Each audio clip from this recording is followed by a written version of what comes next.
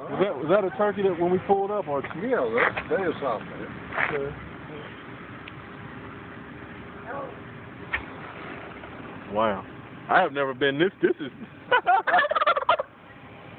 Now, we're sitting here, he, if I was too close and he couldn't go between there, Right. he'd keep easing up almost. really? Till somebody move? Huh? Yes.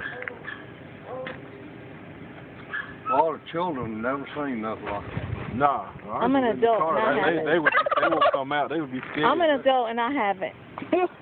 They wouldn't, uh, say if I take him to school, they'd make me do away with it. Really? yeah. The school kids would like to see something like that. Yeah. Yeah. Never seen it. I had one years ago and uh, school come and got him. I had a war cage. Right. I kept him three months. Really? Yeah. Showed him and talked about it. Wow. That's all right. well, that is amazing. Uh, man Hey, asked Tom. me what the two fire. He said, "You got a turkey gobble?" He said, "I've got a friend, a two-year girl.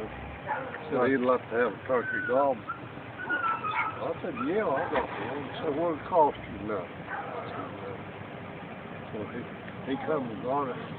Said he had a dog law he could put it in.